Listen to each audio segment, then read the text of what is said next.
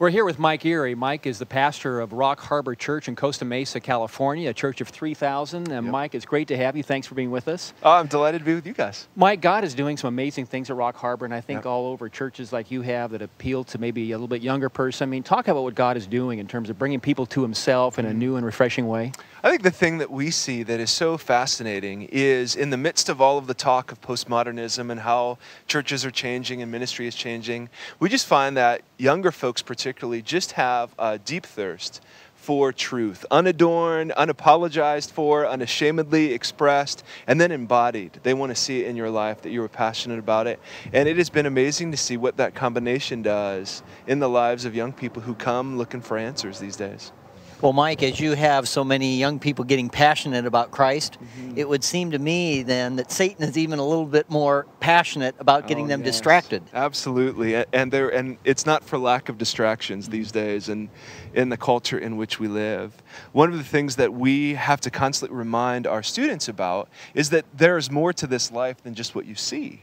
You know, there's the uh, the scriptures speak of the earthly realm, the realm that you can get at with your senses. But the scriptures talk so much about the spiritual realm, the realm uh, that is more important in scripture's eyes, where the real action takes place. That's kind of the behind the scenes part of this the stage drama that we see played out before us.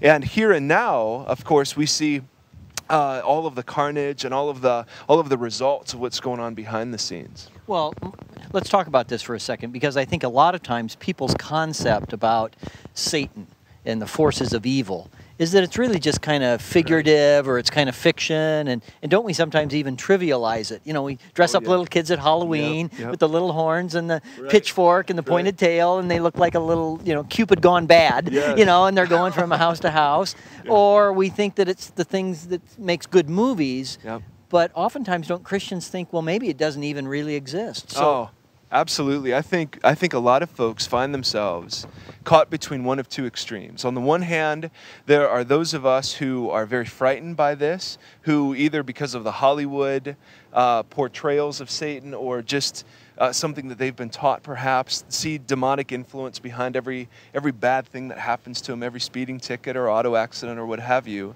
But then on the other side of the equation, we've got folks that you're talking about who either are trivializing this thing or are just ignoring it altogether. I mean, the scriptures are quite clear. Satan is no myth. He is quite real. He is big. He is bad. He's not, of course, the opposite of God or the equal of God, but he exists. And in fact, Peter compares him to a roaring lion seeking someone to devour.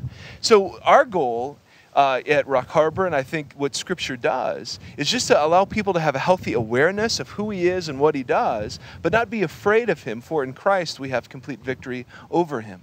And we've talked about that God has got attributes and that God has a personality. And Satan, he's got attributes, he's got a personality. yes. And I mean, the more we know about what Satan is like, doesn't that give us more knowledge of how we can deal with him? But talk about what, what this boy is like. I mean, this Yeah. is not good stuff. I mean, he is his titles aren't real happy Right, titles like right. God's, are they? No, not at all. Before we even get to his titles, I think it's just important to recognize that Satan is a created being. Hmm. He's a fallen angel who was, who was once named Lucifer. Hmm. And as a created being, Satan is subject to the will of God. In fact, you see that in the book of Job. Satan has to actually ask permission uh, in front of God's throne to, to do the work that he wanted to do. Satan is an intelligent being, a being with will, a being with intellect, a very uh, uh, intellect, excuse me, a very strong being, but is certainly not God's equal, as we've already said. Scripture gives gives him titles that describe his work against us and his activity, that give us insight into his character.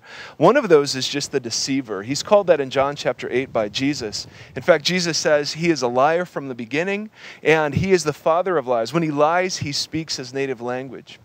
And so, one of the ways that believers must learn to recognize the work of Satan are those whisperings that seem contrary to what God has said in His Word, what God is doing in our life. In fact, when he, when Satan approached Adam and Eve in the Garden of Eden, he approached them not with some demonic display of fireworks, but just the whispering of a false idea about God. So he is known as the deceiver. He's also known as the tempter. That comes from 1 Thessalonians, that he presents temptations. He knows us. He, does, he can't see inside of us, of course. He's not everywhere and he doesn't see everything. But by observing us, Satan can learn where our weaknesses are and just allow things kind of to fall into place, particularly when lying to us and presenting false ideas about God. That leads us naturally then to being tempted. If we don't believe that God is good, for instance, we might look to relieve stress or to deal with the bad things of life in other ways. The third title he's given is that of the accuser. In Revelation chapter 12, he is described as the accuser of the brethren, Christians, who sits before God accusing them day and night. And there's an interesting progression here. He lies to us to get us to believe false things. He tempts us then to act on that false belief. And then once we've acted and sinned against God, he sits pointing a finger at us, accusing us before God himself and accusing our own conscious, our own conscious um, consciences against us. And in so doing, he discourages the people of God. He seeks to defeat them. And what, what he's really after, what he's really after in this, the war is already won. And the natural question is, well, why does he keep fighting? If he knows he's lost, if he knows God is God, why does he keep fighting? Well, in John chapter 10, it, there is a very famous verse that Christians are apt to quote frequently. And it just simply says this Jesus says, I came that you might have life and have it abundantly. And we quote that a lot, but we usually don't quote the first part of the verse, which says, The thief has come to steal, to kill, and to destroy. And there's Jesus is talking of the work of Satan. So Jesus' project in our lives is to give us life, eternal life, a different kind of life here and now. The work of Satan, on the other hand, is to rob that life from us. Now, Paul talks about how he blinds the eyes of unbelievers in this age to keep them from knowing Christ. But one of the things he also does is that once you accept Christ, it's almost as if you put a different kind of target on your back, and he seeks to oppose what Jesus wants to do in us and through us. Well, what do we as Christians do then? Uh, let's say I'm a new Christian. Uh, I'm, I'm, I'm, hearing you say these things about Satan. Maybe I was kind of aware of it before. Yeah. I, I'm feeling these spiritual struggles man, I'm not capable of fighting him on my own. No, and How that, do I do it? Boy, I think you just nailed the first thing. Just to recognize that we do not have, in our own strength, power, intellect, the ability to take on Satan and fight him in our own strength and power. First of all, we have to understand, most of all, that Jesus Christ has won the battle for us. Colossians uh, chapters 1 and 2 describes how that has taken place. Paul also talks about in Ephesians chapter 6 that we have spiritual armor that equips us to fight against Satan in all the ways that he seeks to steal the life Jesus has for us. But in James chapter 4 verse 7, James gives us kind of an interesting insight in what this really looks like. He says, "Submit yourselves then to God, resist the devil and he will flee from you." And that is a handy way that I've tried to remember how it is that I am to deal with the evil one. We're to be aware of him, but not to be unduly frightened of him.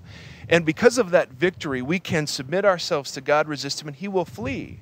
How do we submit ourselves to God? Well, we should not give Satan footholds in our lives. Paul talks in Ephesians about do not let the sun go down in your anger and give the evil one a foothold. There are footholds we give him when we sin consistently, and it's almost as if we're giving Satan permission then to have power in our lives. So we submit ourselves to God, we repent from those things, confess them. The resisting part that James talks about, I think, really has to do with Scripture. When Jesus was tempted by Satan in the wilderness, Jesus responded by quoting Scripture back at Satan. And one of the ways we resist, particularly his lies, is that we are to marinate, so to speak, our minds in the truth of God's word. And when we hear those either accusations, when we hear those temptations or those deceptions, we respond with scripture and the truth of God's word against those. Well, this has been great, Mike. I know you've you've um, you've got a church of, of three thousand people, and God has entrusted you with that. And I think also as we as we think about what God wants for us, He wants us to be close to Him. He wants Amen. us to be buried in His Word. He wants us to resist the devil. I mean, these are commands that He's given us. Yeah. And if you could just give a, a, new believer, if they came into your office uh, and, and, just said, Pastor, I mean, I, I, feel like Satan is coming after me. I mean, is there is there something that you would send them off? I mean, besides the things we've talked about here sure. today, that would really give them maybe just again one final verse or word of encouragement Yeah. so that people who are, are struggling with this and again i would think that satan one thing about passion of the christ that really Yeah. got to me was that he's interested in preventing people from knowing christ just Yeah. in just a few seconds just give a word of encouragement I would say this most importantly, to learn who you are in Jesus Christ. Once you've accepted Him and have been born again, you are His son, His daughter, you are justified, you are adopted, you have been redeemed. I mean, the biblical words for this are amazing. And none of them indicate that they can be reversed. And I would just have you camp in Romans chapter 8, where Paul says towards the end of that chapter that nothing can separate you from the love of God, not angels, nor demons, nor death itself. And I think that is the encouragement that the battle is won and we have tools to fight with. Mike Erre, thanks for being with us. Absolutely. Appreciate guys. it, brother. Thank God so bless much. you. It's great to tell that you're passionate about these things because you're passionate about your love for Christ. Amen. Thank you, guys.